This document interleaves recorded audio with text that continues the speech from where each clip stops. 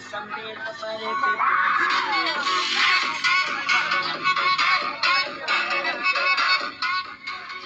you.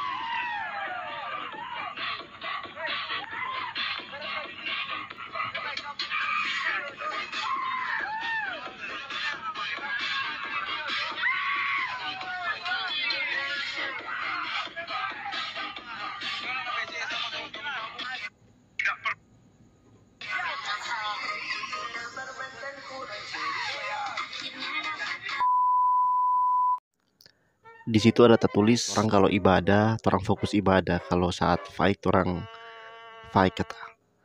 Uh, maksudnya orang ya seperti itu. Cuman tapi pertanyaan di sini apa maksudmu di mau posting video ini? Dan mau tulis miras di tenda jemaat? X miras di tenda induk. Benar. Maksudnya apa so ini?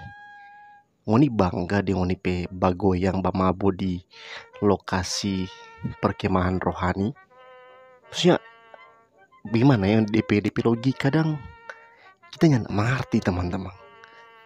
Ini orang-orang ini dorang dorang nyandak malu begitu dong melakukan satu kegiatan yang sangat ditentang oleh firman Tuhan miras bamabo di lokasi yang adalah tempat orang berkegiatan rohani.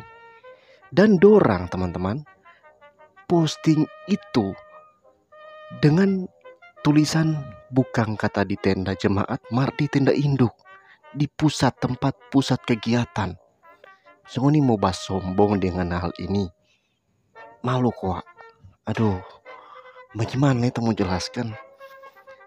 So besar-besar ikin, so pemuda tuh gitu dong. Begini, memang no itu cuma ngoni. Mar tahu ndak dunia ini punya satu cara pandang yang selalu mengeneralisir bahwasannya karena cuma lihat pangoni, dorang nilai semua pemuda gemini itu brengsek. Padahal tidak semua begini. Cuma ya begini no dunia bicara pandang. Begini no tuh orang bicara melihat sekarang. Jadi ngoni ya yang yang ada otak ini. Ngoni rasa ngoni sementara membuat gemi menjadi lebih baik, lebih harum, nyanda, bos nyanda. Ngoni bikin malu. Kung kita mau tanya DPP ini sebenarnya siapa kok? Coba penak mana yang mengaku dulu kok siapa pe, pemuda ewa ini? Nggak ada jadi penatua ada bikin apa selama ini? Cuma tahu menjabat penatua ikut sidang siapa jalan ibadah. Nggak ada pernah mengajar ndak orang apa itu kegiatan PKPG atau atau mungkin memang orang ini cuma yang nggak terima-terima iko pas ada kegiatan. Mari ibadahnya pernah ibadah. Kok nggak mau bilang itu dompet salah? Itu nggak salah penak? Itu nggak salah Kenapa nggak mesti ikut pada orang kok? Kalau tahu orang ini jadi ibadah, beki apa mesti ikut pada orang? Ini ada guna, ini ada guna. Para beki malu. Pemuda, ingat yang ini tulis begini. Orang kalau ibadah fokus no ibadah, mau ibadah itu nol. Ya kita bukan mau menghakimi. Cuma kita mau tegur di sini. Ini semua mau tegur aku ini. Pernah no ada tuh yang bagoyang di tenda induk cuma udah bilang itu konteksnya lagi senam. Oke okay lah sebenarnya meskipun itu so sangat terlihat tidak uh, etis dan tidak menggambarkan sebuah senam yang betul-betul senam kita masih sedikit bisa toleransi lah dengan itu ya secara pribadi. Kita sebagai sebagai seorang pemuda gemim ya Sokumba pasti sekarang cuma pernah aktif sekali di pemuda bahkan sampai sekarang masih menjabat di jabatan tertentu di pemuda gemim. Dan kita sebagai uh, orang yang tampil di medsos dan orang banyak tahu kita ini sebagai dari orang gemim. Kita mesti tegur komang ini. Begini ya, memang menurut orang semua ada DP dosa.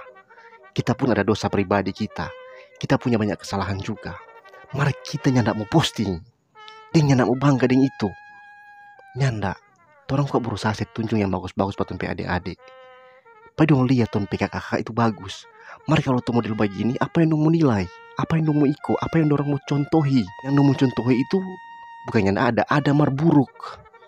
Oh begini no kalau jadi pemuda gaul, begini no tuh itu mantap. Begini no yang FYP, FYP menipu logong.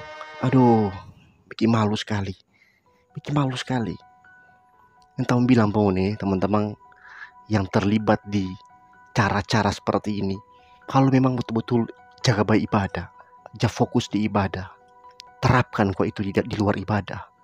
Terapkan kok tuh ibadah yang bagaimana maunya di ibadah yang sopan, yang badengar, yang teratur, itu yang dijalankan di luar ibadah. Atau mungkin memang ini di ibadah ibadah pun sambarang. Ngoni fokus maksudnya ibadah itu ya fokus seperti cara dunia sekarang yang beribadah baca rita, beribadah mungkin ngoni bagoyang ya mungkin pujian le di cara menyanyi le mendukung mau bagoyang mau ba liar-liar. Atau ngoni justru jadi ikut ibadah-ibadah yang ja plaka-plaka jangan mau mabuk sama orang mabuk ah. Begitu tuh ibadah. Ya enggak tuh ibadah kan liturgis tuh bagus tuh nah itu harusnya jadi pola yang terus terbawa sampai di luar. Bukan sampai orang gila aduh kita cinta pemuda gemim orang semua cinta pemuda gemim kalau nyak mampu bikin harum setidaknya jangan bikin malu kalau nggak mampu bikin harum nama pemuda gemim setidaknya jangan bikin malu. Ini pun kiranya menjadi pelajaran lefor uh, semua para penatua pemuda, bahkan sampai komisi pemuda sinode. Itu kegiatan usahakan baking se sebaik mungkin dalam arti termasuk DP ketegasan-ketegasan dan pengamanan yang ada. Iyo, ke depan harus seperti itu. Ya, kalau perlu memang ada dua itu orang tuh, orang pemuda lebih banyak dua itu. Contoh orang kaya tuh, begitu. Pakai pengaman, polisi saya ajar polisi di di kegiatan kalau perlu saya datang FBI dengan SWAT list tuh kali kau tembak jo kalau banyak model kau tembak jo supaya jangan aduh jangan bikin malu begini ya tuh nih